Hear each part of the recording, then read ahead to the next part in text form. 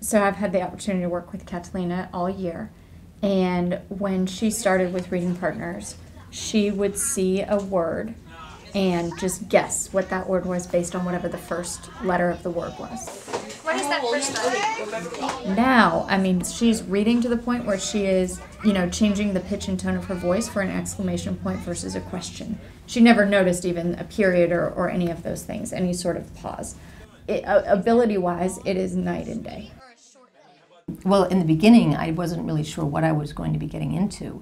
And they have it so organized, and um, the progression is very easy to follow. And, you know, meeting this live person, and she's just a little doll, and she's, you know, just like a little thing of clay. And, you know, she wants to be molded, and she wants to learn, and she loves learning, and she's smart. She was reading one word at a time when she started and you know not knowing most of the words and now she reads fluently i mean a sentence and it's just i mean i say to her brianna do you realize what you just did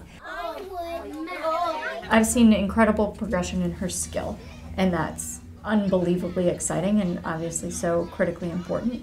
But what I've seen is a sense of self confidence that was not there ever before. When you think that's gonna happen, but it did happen, what word is Is that the word lucky? Yes!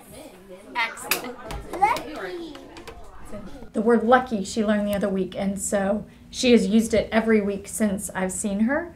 And I have a, um, a book report that she did, and at the bottom she wrote, I am so lucky to have you. I mean, I was lucky because I didn't work when my children were little and I could recognize things and, you know, we had the resources to be able to help them when they needed help. You know, so it's kind of like we were lucky we were in a different position and so I feel like I can give back by providing that same thing for other children who aren't as lucky as my children were.